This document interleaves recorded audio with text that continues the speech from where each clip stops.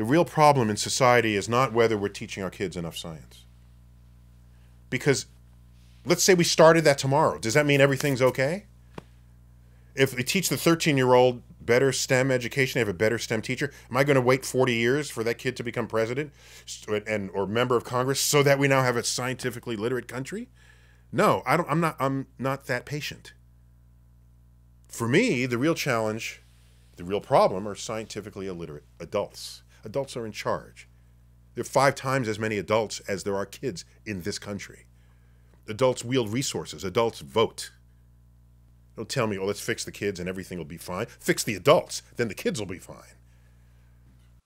My field, astrophysics, may be at this point the only academic field where what I do is not counted against me. At worst, it's just neutral.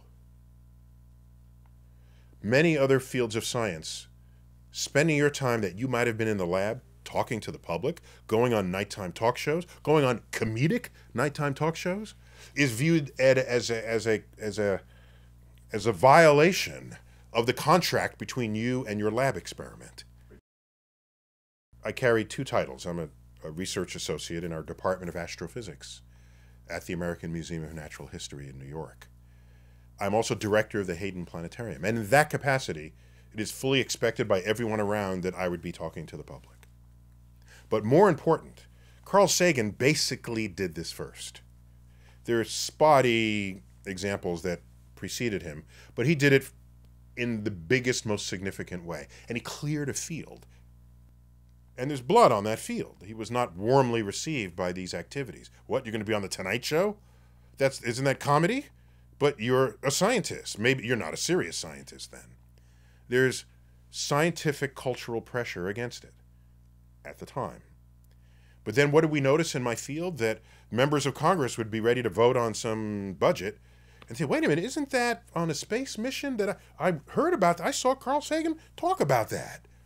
Is that what you, my, you're my constituent, is that what you were telling? Yeah. Oh my gosh, let's do it. And all of a sudden, the tide waters rose for science funding. Members of Congress came to embrace the methods and tools of science and the fruits of its discovery. If you feel strongly about your religious philosophies, I will have nothing to say about it unless you want to change the curriculum in a science classroom. And I would ask you, I won't fight you, I will ask you, why? There's no tradition of scientists knocking down the Sunday school door telling the preacher what to teach. That has never happened. atheists don't even do that. There's no scientist or atheist picketing outside of your church, say, or synagogue or, or, or mosque. That might not necessarily be true. There is no such tradition. So, what is the motivation to try to take a religious philosophy and influence what goes on in science? You can get up enough people to influence school boards. Okay. Again, I'm an educator, so I'm here to tell you the consequence of that if you substitute religious philosophy for science, there will be a generation of people who will not understand what science is. And they will be intellectually crippled from contributing to what the centuries have demonstrated to be the most efficient engine of economic growth that has ever been devised. And that is innovations in science and technology.